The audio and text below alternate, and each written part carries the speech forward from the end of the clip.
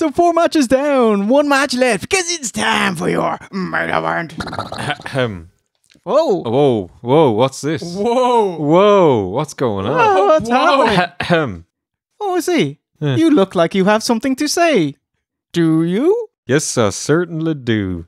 I, I was inspired by this pay per view to write an opinion piece, aka a list. Because who doesn't love a list? You know, hashtag clickbait. Right? so here we go. This is my top 10 most overplayed moments in wrestling history. I'm going to preface it by saying the following These are the moments I'm completely sick of seeing. Most are iconic for good reason, but I don't want to eat fillet steak seven nights a week. Right? These are specific moments rather than recurring ones. So I've used as an example, there's no inclusion of RKOs, 619s, or tombstone pile drivers, all of which I never want to see again. Okay? But they're not on the list. they are not on the list because these are specific moments in time. Okay. I never want to see any of these again. Other than the, the irony is not lost to me, other than when you hopefully do a nice few splices for this. Um, That's the icing on the cake, getting me to do more work. isn't it? no, no, this is, I mean, well, Steve can do this. It's, um, so these are not necessarily moments overplayed just by WWE, but in general on any wrestling related platform, including OSW. Hey, okay. there you go. Deal. Take, take that, Jay. Tell me no more king in a row. I'm out of here. Um, I, I have to give a shout out to two of my buddies that are currently not in this room. Yeah, I know. They threw out a few suggestions, some of which were viable and one of the made the buddies- list. Have my hard drive. Uh, you've actually met them, Paul and Taller. Couple of beardy headers that have good wrestling knowledge and watch our show. Right, so let's start. Okay, number 10, and this is controversial, and you may cut all of this out because it's going to be unpopular.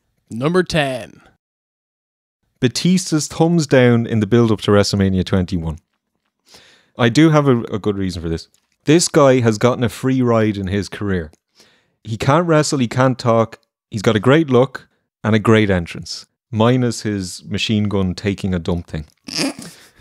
because Cena was pushed slightly more than Batista, because he's more talented in every way, Batista got a pass. There are other moments on this list I've seen more, but few which have had such a negative long term impact on my enjoyment of wrestling. How come? Because I hate Batista.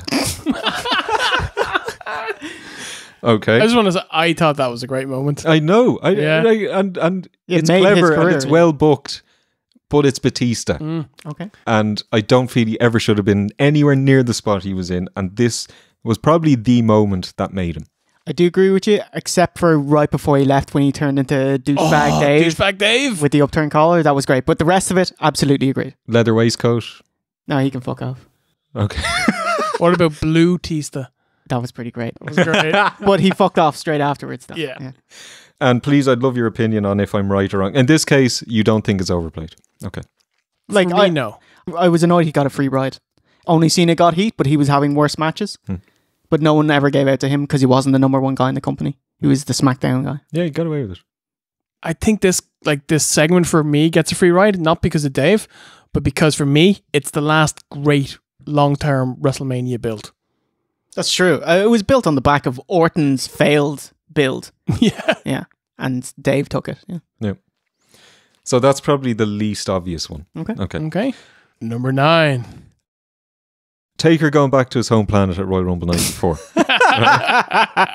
there might be an element of recency bias in this, but I'm happy that I've seen it enough times now. I love it, but I'm going to put it to bed now. Time to Right. fuck off. Yeah, yeah, yeah. I agree.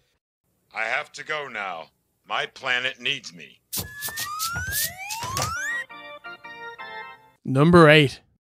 The third man at Bash at the Beach 96. Holy shit. Yeah, yeah. But- I'd have that higher. on the list. But Okay. whose side is he on? Yeah, i i there you go. One of the most important moments in wrestling history, but I've probably seen it 50 times. Okay. Get a roadster! Yeah, but whose side is he on? Go, what are you talking about? Whose side is he on? What are you talking about? Number seven. The WWE ECW zombie. Fucking serious. So, that was left. So this whole segment was basically taking the piss out of the original ECW. It was like, this is what we think of your company, a fucking zombie walking out on the first show of our new ECW. It Oh, was Oh, that one was sci-fi. Um, they wanted an alien character, and I said we can't have an alien character; it'd be terrible. And they compromised with a zombie okay. But then they did get the alien Yeah, character did. about a week or two later. to hang around Vince, and he Yeah. got shunned off. Yeah. So you're saying this was sci-fi, saying it has to be a scary character coming out. Yeah, it has to be a ghouly ghouly. Okay, you know, so ghouly ghouly. WWE did not want this. Yeah, oh, no, no. Okay, they wanted something stupid. So the point kind of holds by a thread. So it's not just that I don't like the segment, but it's the fact that it keeps getting brought up by reviewers and anyone talking about wrestling, including us, keeps talking about this segment, and that's what I, why I'm really sick of it. If I saw it once, I'd just get over it.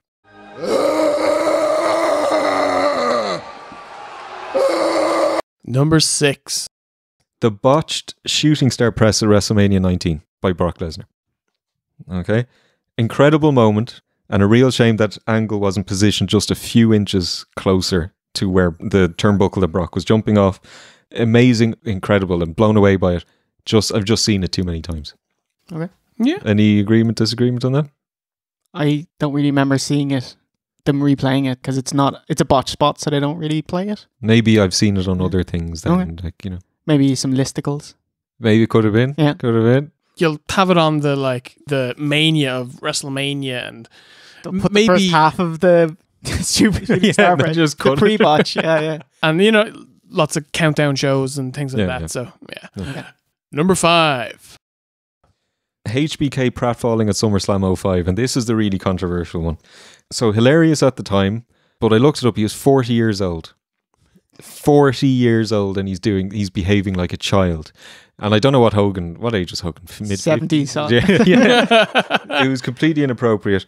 And every wrestling fan scoffs at the billionaire Ted skits from 10 years previous.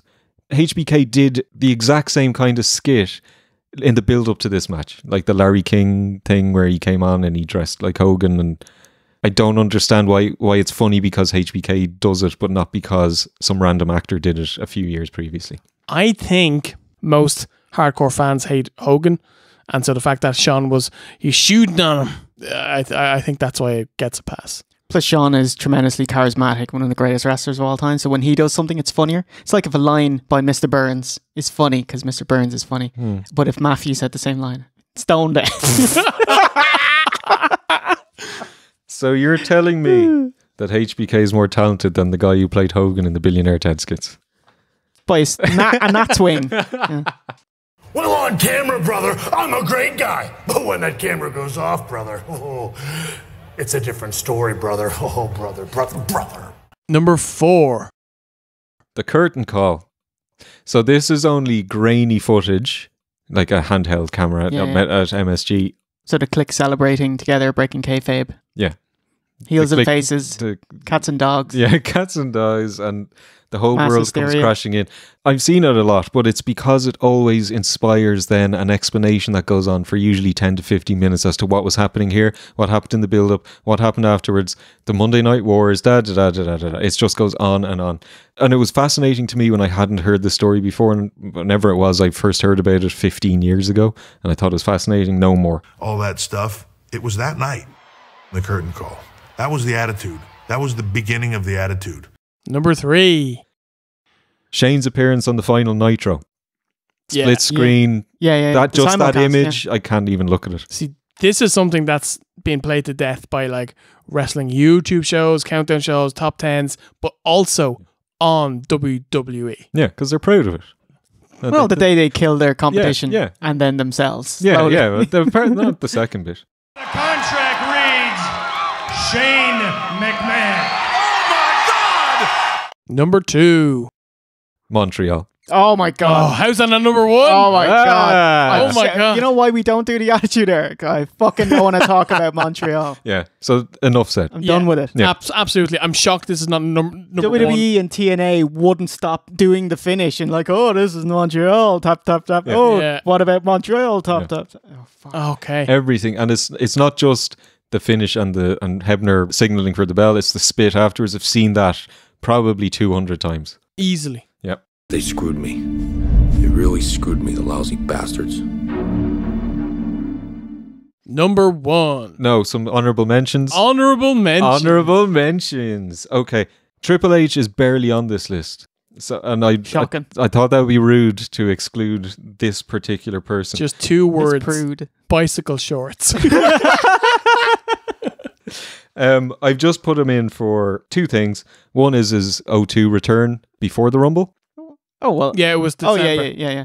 Or was it December? To the build up for the Rumble. yeah. okay, late 01 It's when he did the running choke. Do you remember the Yeah. Uh, and the, the he had the leather. He ruined two perfectly good jackets on, on his on his way to the over the ring. leather? Yeah. yeah, yeah, and he had a 15 minute entrance, maybe 20 minute entrance, whatever that was. It doesn't annoy me that much, but he needs to be on this list. And then the other one is DX showing up at Nitro. And the reason this annoys me so much is the biggest missed opportunity, I think, in wrestling history. Open the doors and let them in. yeah. Open Yeah, the beat the fucking door. them. Yes. what is the worst that can happen? The worst that can happen, they go in and everyone changes the channel to Nitro. yeah. Yeah. Or what's more likely would happen is they get scared and back off. And then they look like dicks. Scott Steiner comes out to them and they run. Yeah. They just peg it. Yeah. And the rest of the lads leave, leaving little bitch there by himself. Fuck off. Yes, Steve, this one. How, however, it did many years later go on to give us Hickenbottom, Levesque. Wednesday at the Alamo at high noon. Hickenbottom. See ya at the Alamo. So, It was worth it then. so I'll take it. Okay. and that they retcon it saying that it's a tank where it's a fucking, you know, a, It's a Jeep. yeah, with a bin on top. Is it a hot bin?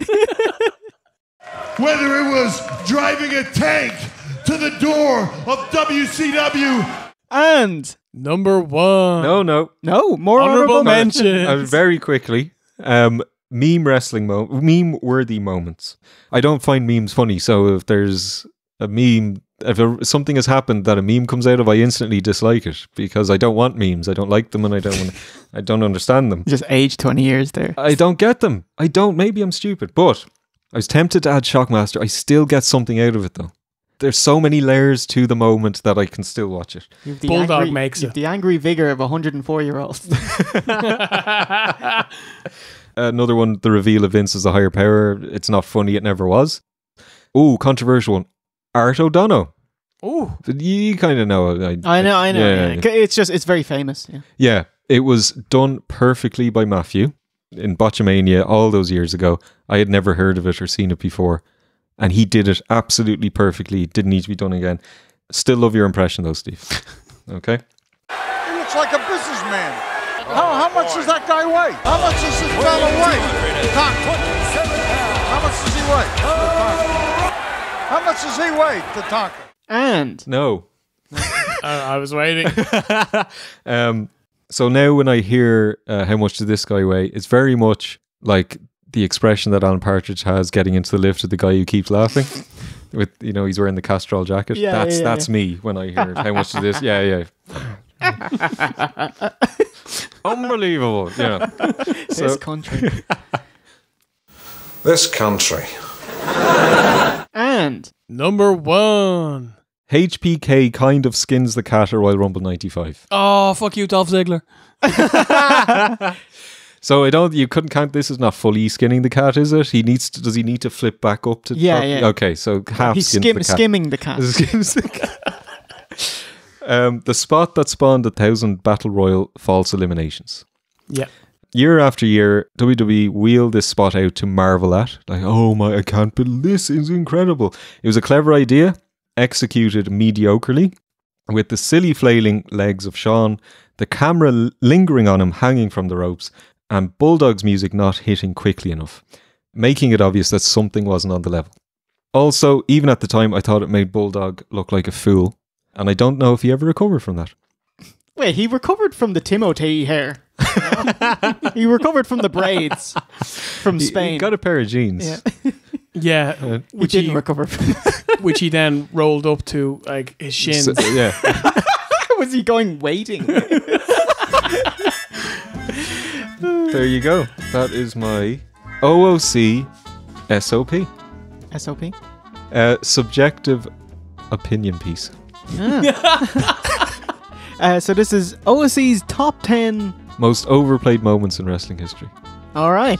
I very much enjoyed that, Steve. Yes, very much Thank you. Thank you. Hey. Yeah, well done. OSC's top 10 subjective moments in history. Subjective moments in history. oh, no, great, man. I really enjoyed that. Well done, well done. Hey.